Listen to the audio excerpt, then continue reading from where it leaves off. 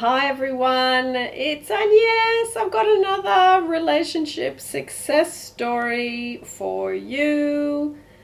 So it's from D, as in the letter D. She'd prefer to be anonymous. So, I am from India. My name is D. I'm 32, so I've never had a stable, steady relationship in my life when N showed up. I was so elated. For me, this was it. He meant the world to me and vice versa, but both of us didn't have stable jobs since I'm a freelancer, and he as well. And he wanted to get a stable job in order to take the relationship to the next level. As I was too excited and told the whole world about it, he was a little hesitant in telling people, but his parents did like me a lot, and we were insisting him, and were they were insisting him to get married to me. We used to fight a lot since he wanted to get more stable, and since I'm 32, I wanted to settle down. In India, a girl is generally married by 26, and he is three years younger, so he wanted to work on his business, and with me around, he couldn't do it.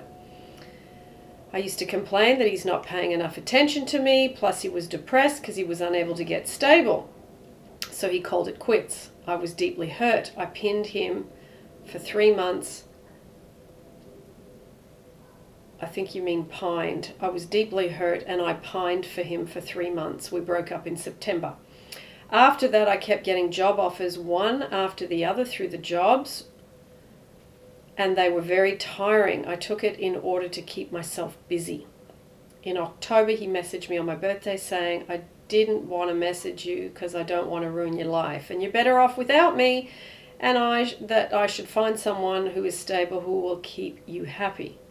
I told him that I still loved him and he was shocked that I didn't move on. So we did start exchanging texts once in a blue moon. And at that time, I was doing your meditations meditation for self love, meditation for first best and the whispering technique, meditation to radiate love to your special person, meditation for first best and a romantic evening with a specific person. Abraham Hicks practice what you want by ignoring it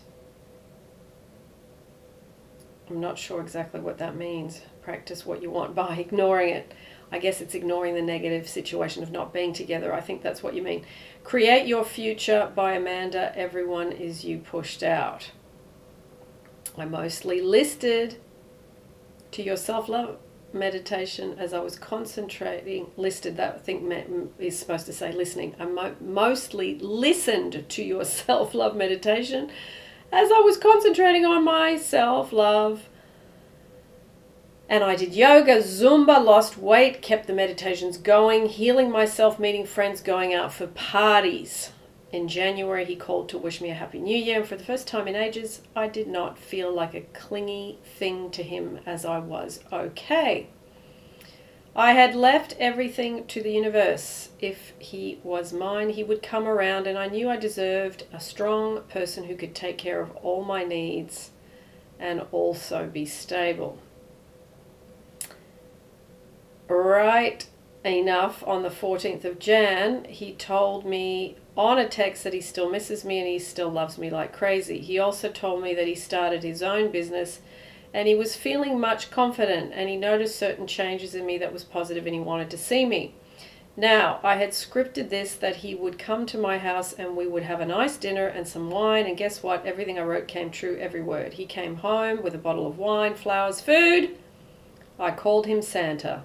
Note, he has never given me flowers ever while we were dating, so he did not believe in gifting flowers. I was about to lose consciousness with the amount of love he was showering on me. We had an amazing evening. He was supposed to leave early in the morning to go back home, but he did not want to leave. He stayed back that day as well. I was overwhelmed. Now we are officially dating. I am also doing your self love meditations and sending love to you specific person meditations. Thank you, Agnes. You don't know what you mean to me. You are a godsend. Thanks a million. Fantastic. D. D, I just want to say one thing. There is something you said here. This is why I was a little bit hesitant. I deserved a strong person who could take care of all my needs. Okay, be mindful of that. Someone is not there to look after all your needs. Okay, you are. Okay, I just want to say that because if you come from that place, it ends up that you put too much pressure on someone. Doesn't matter if you're married, dating, engaged, it you just please be mindful of that, okay? People, you have to meet your own needs because you're adults. Okay? It's fine if someone gives you stuff, but be mindful of that little thing. Okay? So, I just couldn't let that one go today. All right. So, I also want to say Quana, who I interviewed, she I did her uh, YouTube setting helping her set up her YouTube channel. She's got a lovely song. I'm going to put it down in the description and she's singing Ain't No Sunshine by Bill Withers. So that is there for those of you that want to listen to a viewer doing her creative thing. All right, lots of love, and I will see you as always in the next YouTube.